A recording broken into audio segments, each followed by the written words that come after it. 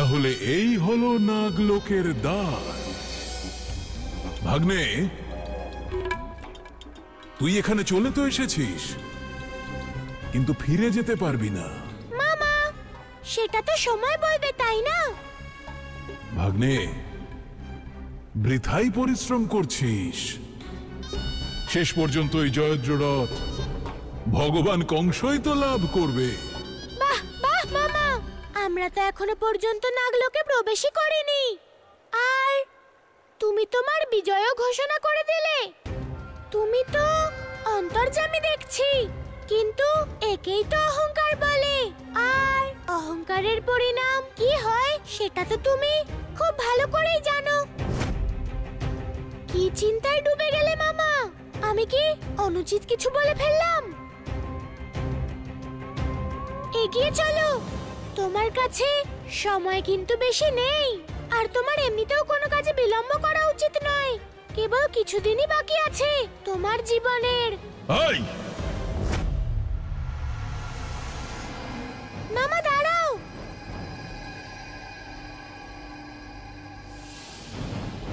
ভয় পেয়ে গেলি নাকি?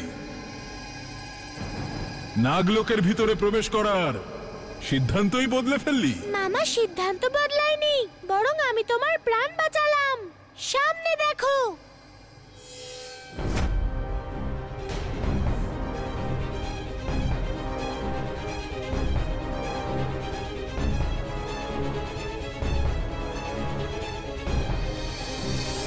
মামা, যদি তোমার এই ভাগ্নে তোমাকে না আটকাতো, তাহলে তোমার আমার সঙ্গে যুদ্ধ করার স্বপ্ন স্বপ্নই থেকে যেত।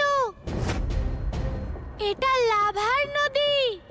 আর জয়ত্র রথ লাভ করতে এই নদী পার করতে হবে। কীভাবে করবে? এই লাভার নদী পার? কিছু ভেবেছো নাকি, মামা?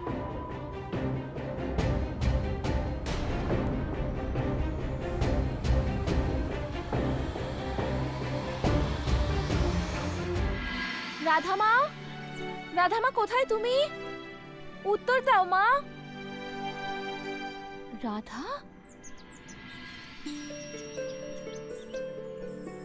রাধামা, আমি তোমায় সব জায়গায় খুঁজলাম। তুমি এখানে কি করছ? তুমি আমাকে বলেছিলে না, মা, যে আমি গৃহের কোনো কাজ করতে পারি না। দেখো, আমি নিজের হাতে এই সমস্ত ভোজন বানিয়েছি।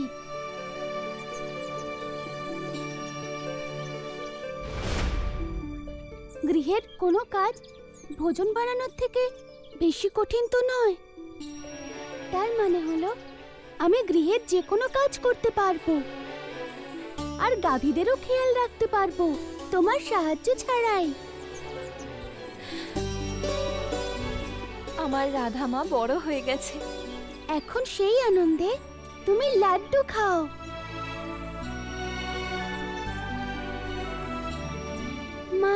লাড্ডু কেমন হয়েছে?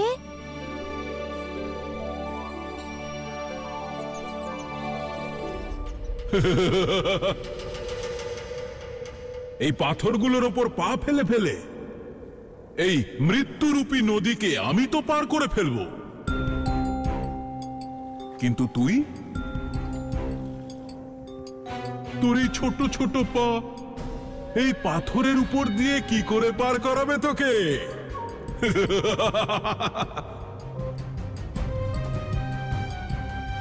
অত্যন্ত দুঃখের সঙ্গে জানানো হচ্ছে যে প্রতিযোগিতা শুরু হওয়ার পূর্বেই পরম অবতার শ্রীকৃষ্ণের পরাজয় হয়েছে।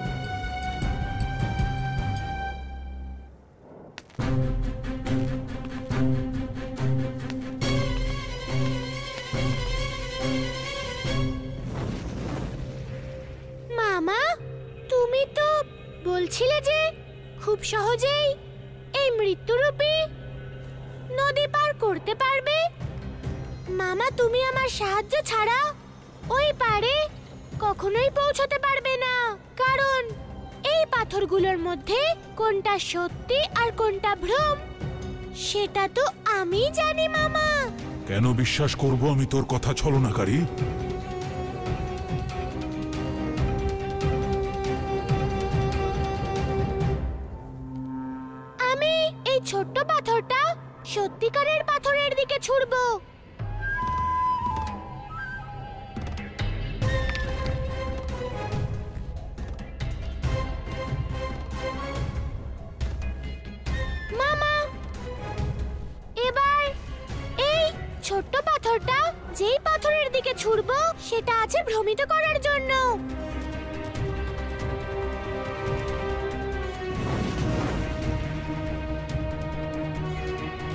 এবার তুমি নিজেই সিদ্ধান্ত নাও যে তোমার ভাগ্নের মানে আমার কথা শুনবে?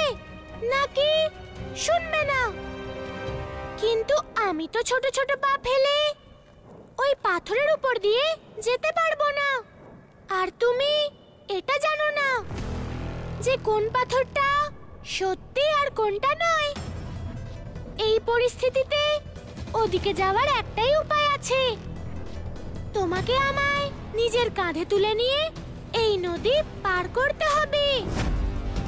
আমি তোমাকে পথ বলে দেব মামা। বেশি সময় নেই কিন্তু মামা। তাড়াতাড়ি ঠিক করো রাজি আছো কি না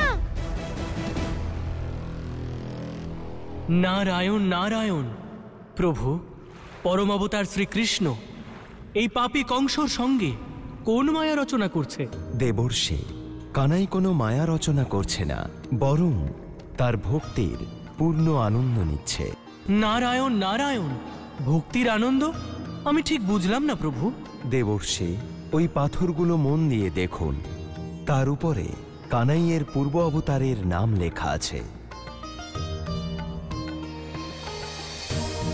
নারায়ণ নারায়ণ প্রভু এমন মনে হচ্ছে যে এটা সেই সেতুরই পাথর। যার সাহায্যে শ্রীরাম ত্রেতা যুগে লঙ্কা পর্যন্ত যাত্রা করেছিলেন। পাপী রাবণের বিনাশ করেছিলেন প্রভু। দেবর্ষে আপনার দৃষ্টি আর জ্ঞান দুই প্রশংসনীয়। এটা সেই সেতু। নাগলোক সমুদ্রের অভ্যন্তরে, আর এই সমস্ত পাথর আজও শ্রীরামের ভক্ত। সেই কারণে তারা তাদের প্রভুর নতুন অবতারকে দর্শনের জন্য আর তাকে সাহায্য করতে এখানে পৌঁছেছে। দেবর্ষী, এটা তো পাথরের ভক্তি যা তাদের এখানে টেনে এনেছে।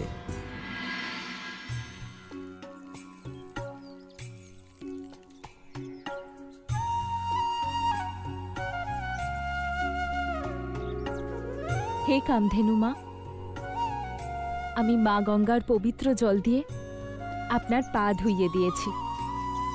আমার প্রার্থনা স্বীকার করুন।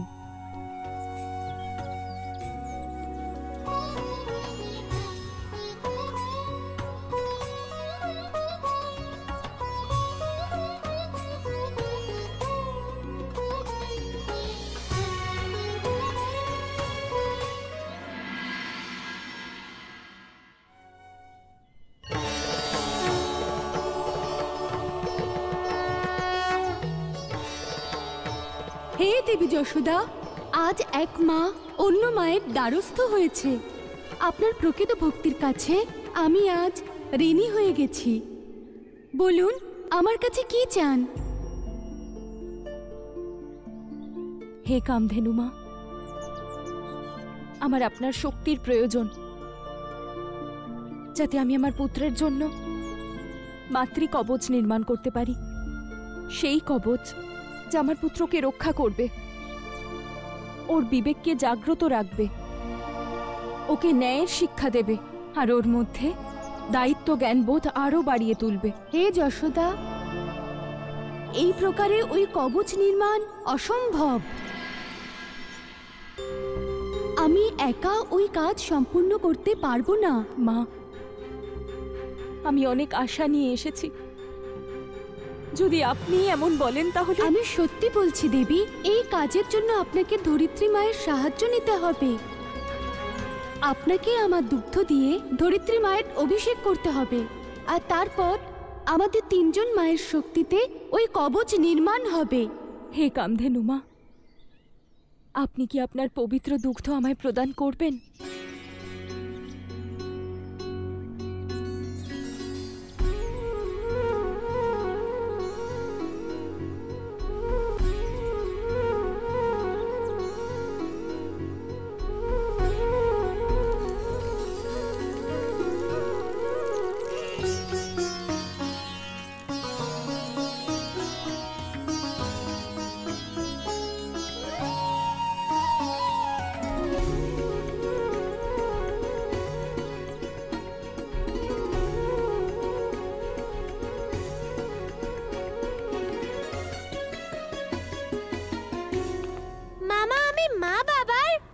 কাঁধে অনেক চড়েছি। আর অনেক মজাও হতো, মামা। মামা, ওটা নয়, এটা। কিন্তু মামার কাঁধে চড়ে খেলার তো মজাই আলাদা। এখন আমি বুঝতে পারছি যে মামা ডাকের মধ্যে দুটো মা কেন থাকে? এত মমতা মা ছাড়া যদি কারোর মধ্যে থাকে, তাহলে সে হলো মামা। ইচ্ছে করছে এখনই তোর ভবলীলা সাঙ্গ করে দিতে। কিন্তু কি করব? শপথ নিয়েছি তোকে রণভূমিতে হত্যা করার। কি মামা? তুমি সব সময় মারার আর মরার কথা কেন বলো? এখন নিজের ভাগ্নের সঙ্গে খেলা করার আনন্দ উপভোগ করো। আমাদের যুদ্ধ যখন হবার তখন হবে। দাঁড়াও মামা। এই সামনেরটাই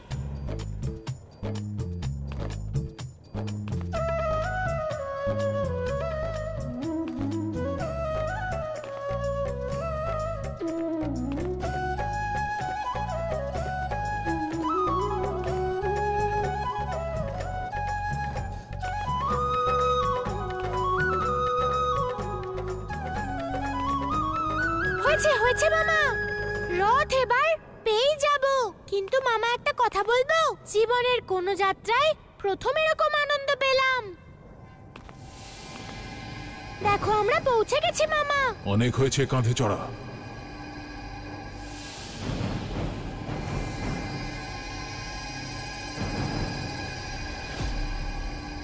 এবার দেখতে থাক। কিছুক্ষণের মধ্যেই ওই জয়দ্র রথ তোর মামার হয়ে যাবে। আর তোর দশা? ক্ষুধার্ত বাঘের সামনে এক ছাগ শিশুর মতো হবে। তাহলে চলো, সেই রথ তোমার জন্যই অপেক্ষা করছে মামা। চলো।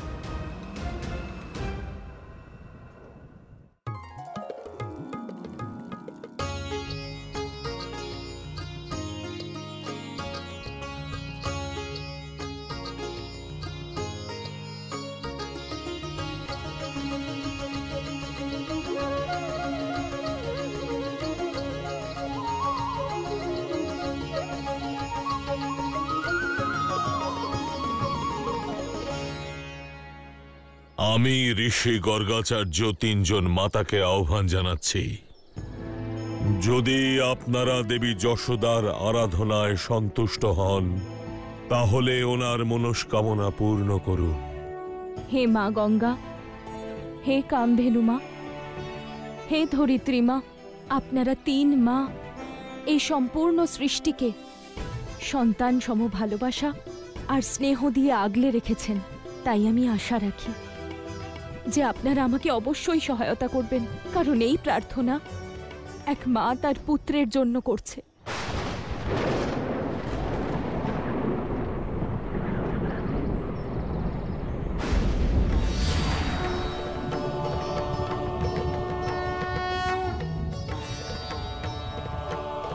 আমরা প্রসন্ন হয়েছি আপনার ভক্তিতে।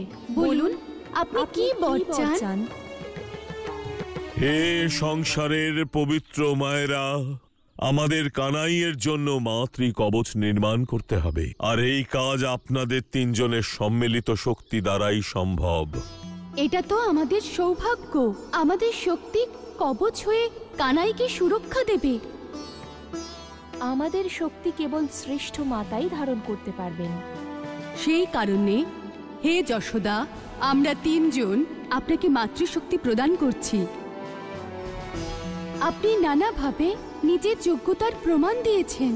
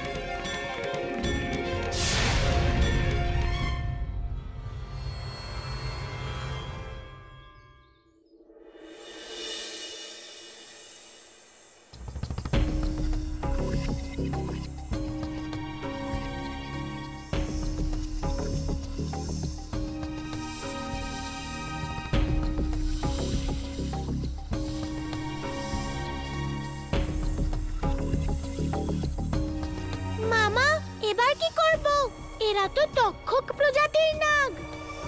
যারা এই জয়দ্র রথকে পাহারা দিচ্ছে। এই সাপেদের দংশন মাত্রই যে কোনো প্রাণীর মৃত্যু সুনিশ্চিত।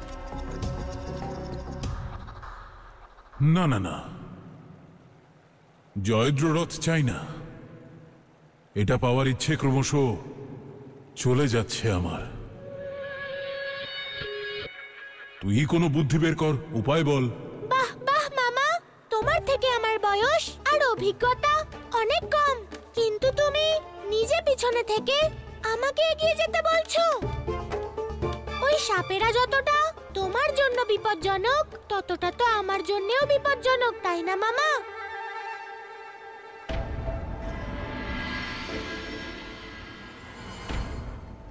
কালীয় নাগের সম্মুখে এসব নাগ তো তুচ্ছ। আমার সম্পূর্ণ বিশ্বাস যে নাগেদের এই জাল থেকে তুই জয়দ্র রথ অবশ্যই বের করে আনবি। বাকিটা তোর ইচ্ছে। আমার এই রথ চাই না। একবারই নাগেদের থেকে তুই জয়দ্র রথ ছাড়িয়ে আন। তারপর তোর থেকে রথ আমি ছিনিয়ে নেব ভাগ্নে।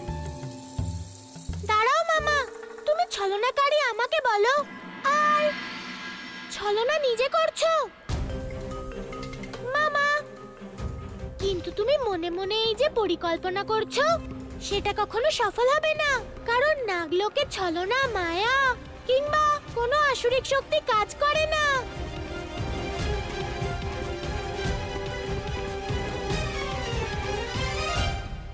আজ আমার এটা সম্পূর্ণ বিশ্বাস হয়ে গেছে যে ভগবান কংসের ভাগ্নে বলার যোগ্য একমাত্র তুই। তোর আগে যে সাতজন জন্মেছিল, তারা এর যোগ্যই ছিল না, তাই আমি নিজের হাতে ওদের মুক্তি দিয়েছি। এখন একমাত্র তুই এই সর্পের হাত থেকে আমাকে বাঁচাতে পারিস। মামা, যতই তুমি মনে মনে পরিকল্পনা করো, তবুও ওই জয়দ্ররত্ন আমারই হতে চলেছে। যখন গোটা সংসার জানবে যে মহাবলী কংস সাপেদের দেখে ভয় পেয়েছে? তখন তারা কি বলবে? তোমার সম্মান তো ধুলোয় মিশে যাবে, আর সবাই তোমার নাম ভুলে যাবে। একবার চেষ্টা করে দেখো, আমার মনে হয় এই সাপেদের জয়দ্ররথ থেকে সরানোর জন্য কেবল অসুররাজ কংসের নামই যথেষ্ট। একমাত্র তুই আছিস, যে নিজের মামাকে বুঝতে পারে। তোর মা দেবকী যদি? আমাকে বুঝতো তাহলে আমার জীবনে এত সমস্যা আসতো না। ঠিকই বলেছিস তুই। এদের সরানোর জন্য তো আমার নামই যথেষ্ট।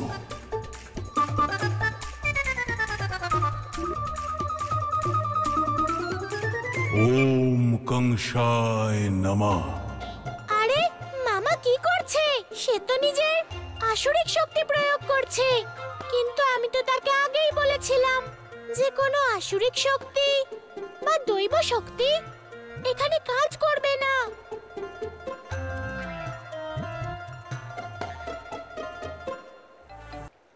নাগগণ এটা ভগবান কংসের আদেশ। যে এই জয়দ্র রথ আমার হাতে তুলে দাও।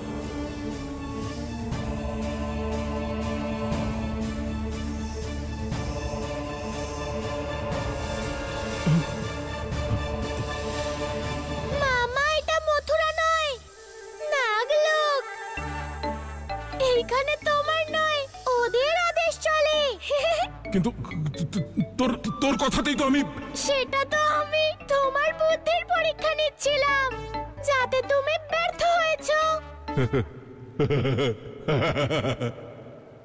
ভগবান কংসের সঙ্গে পরিহাস করছিস ভাগ্নে। ঠিক আছে ভগবান কংস না হয় এ কাজ করতে পারল না। এবার পরম অবতার শ্রীকৃষ্ণ এ কাজ করে দেখা। শুনেছি তোর প্রার্থনা শুনে তোর অনুরোধে বড় বড় পাথরও পথ থেকে সরে যায়। তাহলে দেখা তোর বুদ্ধি। যা। হে নাগেরা, অধর্মের বিনাশের জন্য আর ধর্মের স্থাপন করতে আমার এই দৈব রথ প্রয়োজন। তাই আপনাদের কাছে আমার প্রার্থনা, আমাকে রথ নিয়ে যাওয়ার অনুমতি দিন।